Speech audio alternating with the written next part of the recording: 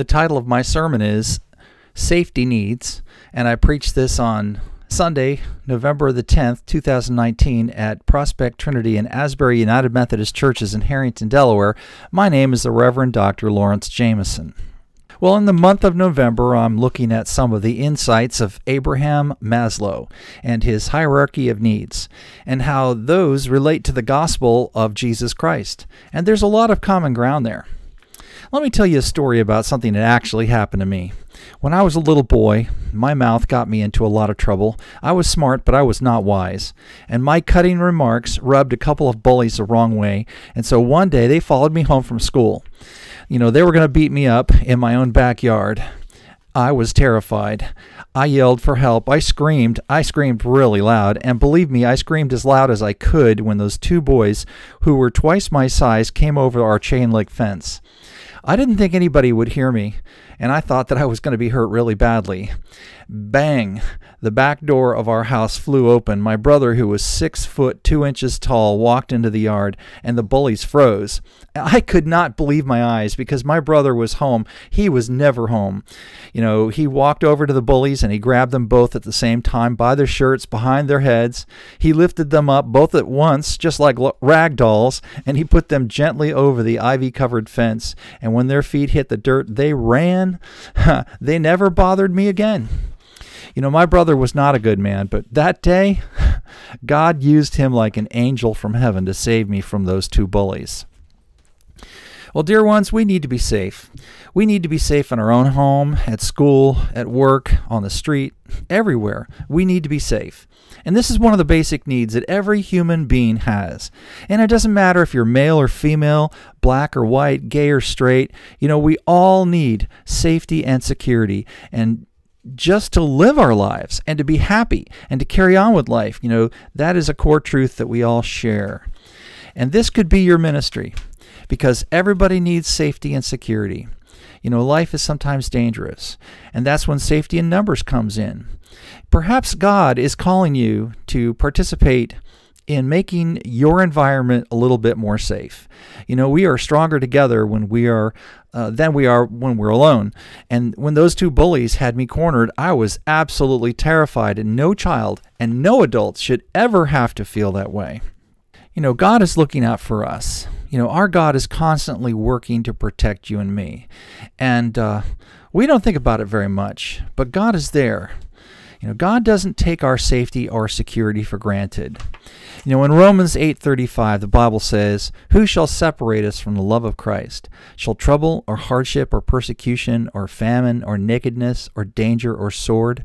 As it is written, for your sake we face death all day long, and we are considered as sheep to be slaughtered." No, in all these things we are more than conquerors through him who loved us. For I am convinced that neither death, nor life, nor angels, nor demons, neither the present, nor the future, nor any powers, neither height, nor depth, nor anything else in all creation will be able to separate us from the love of God that is in Christ Jesus our Lord. You know, we serve a mighty God. Sometimes we face danger, but God is with us, and even in the worst of our circumstances, God is working, God is present for us. Let me tell you a true story that I saw with my own eyes. It's about protection from tornadoes. I used to be the, the pastor at Wesley United Methodist Church in Elk Neck, Maryland. I was there for six years, and, and this is a, a place that is halfway between North East and Elkton at the top of the Chesapeake Bay. Well, there was a woman, let's call her Julie, uh, at Wesley Church who taught Sunday school, and she had an amazing faith.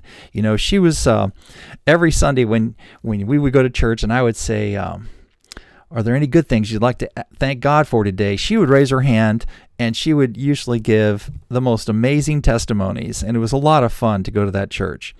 Well, one summer it was uh, it was time to have vacation Bible school, and I remember listening to Julie as she was giving a Bible lesson to her class about how God will protect us from tornadoes. You know, that was the curriculum for that day, and it was a very specific Bible lesson. So I remember her teaching this to the children, and she told them that God loved them and, and God was always working to protect them, even from tornadoes. Well, we all went home that night, and guess what happened later that night? A tornado came to Elk Neck, Maryland. it missed the parsonage, thank God, but it came through our neighborhood. Uh, nobody was injured or killed, uh, thank God, but there was quite a bit of property damage. Julie lived a couple blocks over. I remember getting in the car and going over to her house afterwards to see what happened. The house to the right next to Julie was damaged pretty bad, and the house on the other side of Julie was damaged pretty good too. But Julie's house, uh, Julie's house, it was almost as if God had just picked up that tornado and and and when it went by her house and then set it down on the next guy's house. Julie's house was filled with young children and dogs and cats and toys and cars and lots of stuff in the yard and all of that was completely and utterly missed by that tornado. You know, it was if it was as if God reached down and lifted that tornado when it came near to Julie's house. Oh, the testimony that Julie gave that Sunday. It was awesome. Sue and I enjoyed just listening to her talk, and she was praising the Lord and glorifying his name. And why not? Because God had obviously blessed her ministry, and the children listened to her when she taught, and they will never forget that. You know, our Lord has the power to save, Jesus Christ has the power to save. And we need to hear that. You know, the name of Jesus itself, it means Yahweh saves. And it came from the Hebrew, the Old Testament name of Joshua, who um, was a protege of Moses. Joshua fought the battle of Jericho. You remember that Joshua? Well, that's what was that the name that's the name that Jesus had and that's what is translated in English as Jesus. And it literally means Yahweh saves. You know, we need the protection and the favor and the deliverance of our God. And sometimes we just need to stop and call on His name and start screaming out to God with all our heart, and bang, the back door flies open, and somehow God shows up, especially when we really need Him. We serve a God who saves. I love the scripture that says, For God so loved the world that he gave his one and only Son, that whoever believes in him shall not perish but have eternal life. That's John 3:16. Let us pray. Thank you, dear Heavenly Father, for putting your hedge of protection around us.